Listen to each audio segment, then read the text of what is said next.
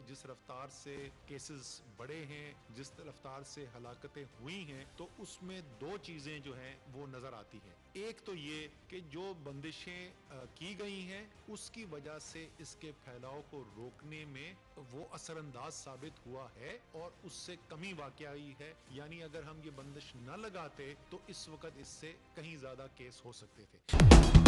अगर कुछ फ़र्क पड़ा है तो लॉकडाउन से पड़ा है। विफाकी वजरा लॉकडाउन के मोतरफ होने लगे। असद उमर कहते हैं, बंदिशें न लगाते तो कोरोना केसेस कई गुना बढ़ते। डॉक्टर ज़फ़र मिर्ज़ा बोले, पाबंदियों पर मजीद अमल करें तो बेहतरी आ सकती है। मुल्क भर में लॉकडाउन 14 अप्रैल तक जारी रहेगा।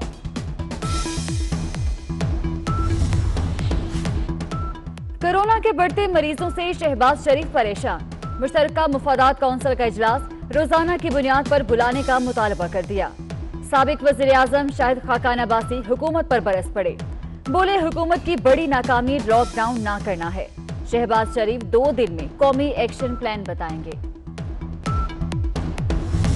जैसे जैसे ये जहाद बढ़ती रहेगी, क्योंकि इसने पढ़ना है। किस रेट पे पढ़ना है, अभी हमें नहीं पता। इंशाल्लाह एक हफ़्ते तक हमें वो भी आइडिया हो जाएगा। अभी तक तो अल्लाह का करम, खास कोई करम है हमारे मुल्क के ऊपर कि जिस तरह वेस्टर्न कंट्रीज़ के अंदर ये एस्केलेट किया इंक्रीज किया, उस तरह पाकिस्तान में नहीं कर। अपनी कौम की तरफ़ से कहना चाहता हूँ कि इंशाल्लाह हम पूरी तरह आपके पीछे खड़े होंगे सपोर्ट करेंगे हर किस्म की। मुल्क में कोरोना वायरस ने मजीद फैलना है। वज़ीर आज़म ने खबरदार कर दिया। कहते हैं, कोरोना मजीद कितना फैलेगा, एक हफ़्ते में अंदाज़ा हो जाएगा। पाकिस्तान में वबा का फैलाव अमेरिका और यूरोप जैसा खतरनाक नहीं। हुकूमत हेल्थ वर्कर्स का भरपूर साथ देगी।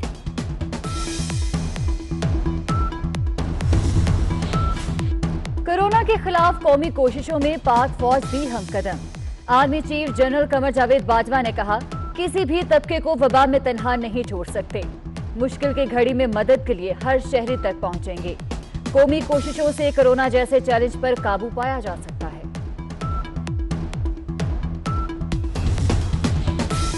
सिंध में जुमे को मुकम्मल लॉकडाउन दिन 12 से 3 बजे तक तमाम कारोबारी मराकज बंद रहेंगे।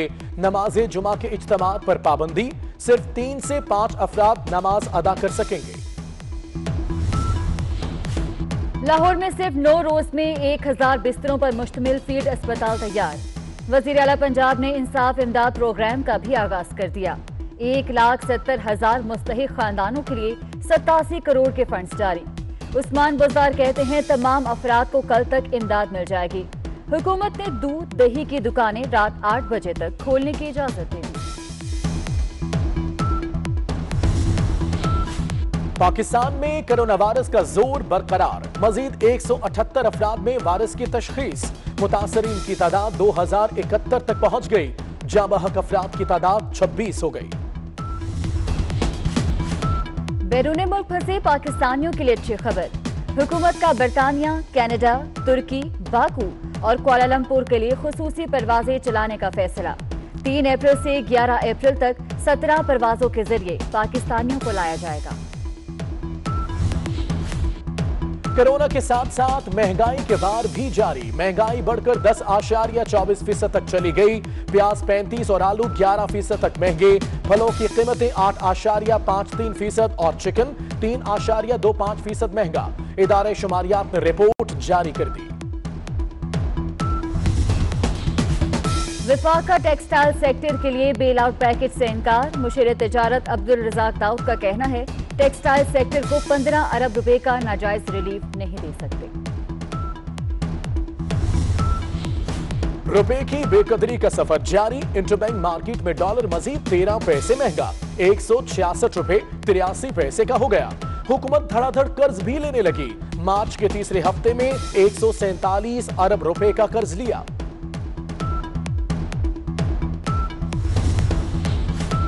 सुप्रीम कोर्ट ने जेलों में करंटीना सेंटर बनाने का हुक्म दे दिया। कैदियों की रिहाई के बाद से टिकेतियाँ बढ़ रही हैं। इस्लामाबाद हाई कोर्ट का फैसला कानून के मुताबिक नहीं।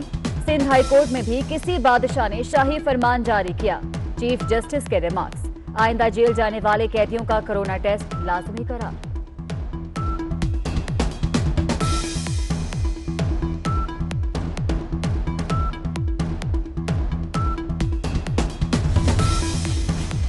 कोरोना वायरस का खदशा विफाकुल मदारस ने मुल्क भर में इम्तिहान मुलतवी कर दिए। नई तारीख का ऐलान बाद में किया जाएगा। छुट्टियों में भी दो माह की तोसी।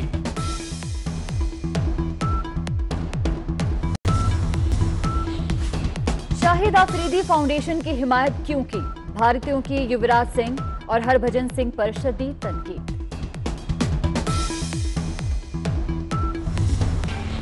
पाकिस्तान वुमेन्स टीम की खिलाड़ी निदा डार ने भी टेस्ट कप्तान अजहर अली का चैलेंज कबूल कर लिया। सख्त एक्सरसाइज करने की वीडियो जारी कर दी।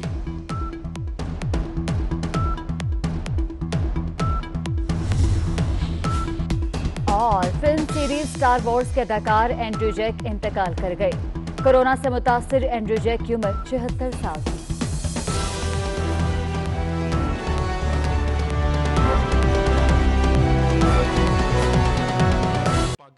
जिस रफ्तार से केसेस बढ़े हैं, जिस रफ्तार से हलाकतें हुई हैं तो उसमें दो चीज़ें जो हैं, वो नज़र आती हैं। एक तो ये कि जो बंदिशें की गई हैं, उसकी वजह से इसके फैलाव को रोकने में वो असरअंदाज साबित हुआ है और उससे कमी वाक़ आई है। यानी अगर हम ये बंदिश न लगाते तो इस वक्त इससे कहीं ज़्यादा केस हो सकते थे। अगर कुछ फ़र्क पड़ा है तो लॉकडाउन से पड़ा है। विफाकी वजरा लॉकडाउन के मोतरफ होने लगे। असद उमर कहते हैं, बंदिशें न लगाते तो कोरोना केसेस कई गुना बढ़ते। डॉक्टर ज़फ़र मिर्ज़ा बोले, पाबंदियों पर मजीद अमल करें तो बेहतरी आ सकती है। मुल्क भर में लॉकडाउन 14 अप्रैल तक जारी रहेगा।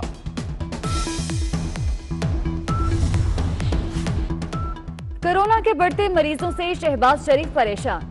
मुश्तरका मुफादात काउंसिल का इजलास। रोज़ाना की बुनियाद पर बुलाने का मुतालबा कर दिया। सबक वज़ीर आज़म शाहिद खाकान अब्बासी हुकूमत पर बरस पड़े। बोले, हुकूमत की बड़ी नाकामी लॉकडाउन ना करना है। शहबाज शरीफ दो दिन में कौमी एक्शन प्लान बताएँगे। जैसे जैसे ये जहाद बढ़ती रहेगी, क्योंकि इसने पढ़ना है। किस रेट पे पढ़ना है, अभी हमें नहीं पता। इंशाल्लाह एक हफ़्ते तक हमें वो भी आइडिया हो जाएगा। अभी तक तो अल्लाह का करम, खास कोई करम है हमारे मुल्क के ऊपर कि जिस तरह वेस्टर्न कंट्रीज़ के अंदर ये एस्केलेट किया इंक्रीज किया, उस तरह पाकिस्तान में नहीं कर रहा।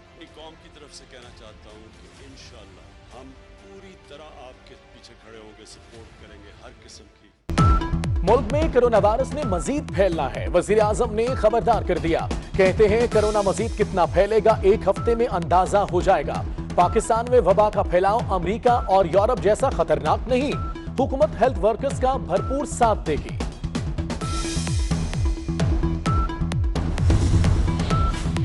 कोरोना के खिलाफ कौमी कोशिशों में पाक फौज भी हम कदम army chief general Qamar Javed Bajwa ने कहा, किसी भी तबके को वबा में तनहा नहीं छोड़ सकते। मुश्किल की घड़ी में मदद के लिए हर शहरी तक पहुँचेंगे। कौमी कोशिशों से कोरोना जैसे चैलेंज पर काबू पाया जा सकता है।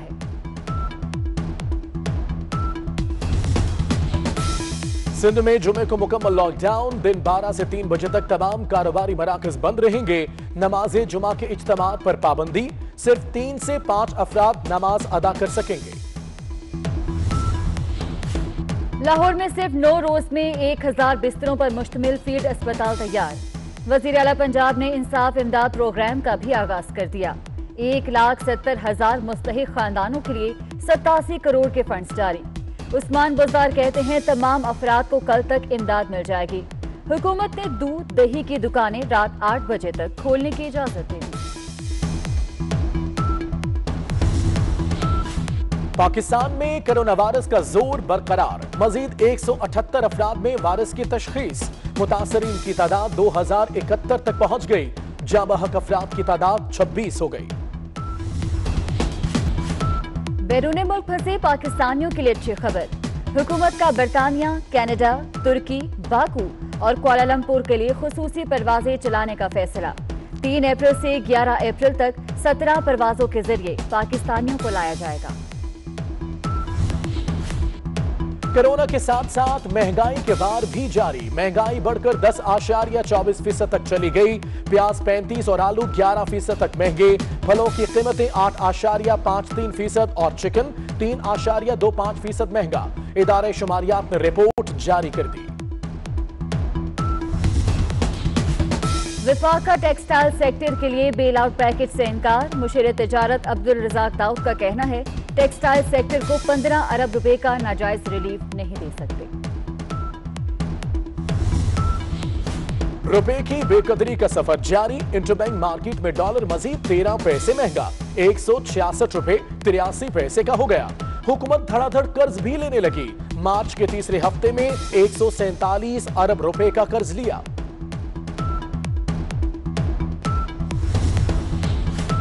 सुप्रीम कोर्ट ने जेलों में करंटीना सेंटर बनाने का हुक्म दे दिया।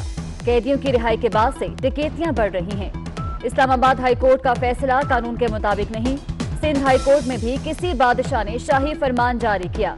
चीफ जस्टिस के रिमार्क्स आइंदा जेल जाने वाले कैदियों का कोरोना टेस्ट लाजमी करा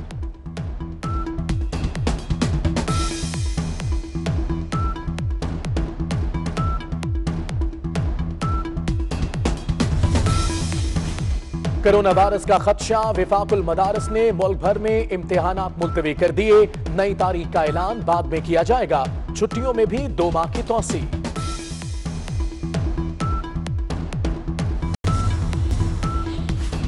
शाहिद आफरीदी फाउंडेशन की हिमायत क्यों की? भारतीयों की युवराज सिंह और हरभजन सिंह पर शदीद तनकीद।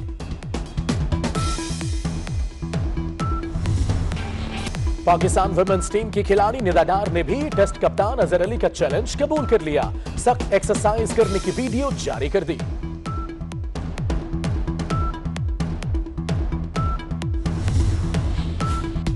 और फ़िल्म सीरीज़ स्टार वॉर्स के अदाकार एंड्रू जैक इंतकाल कर गए। कोरोना से मुतासर एंड्रू जैक की उम्र छिहत्तर साल।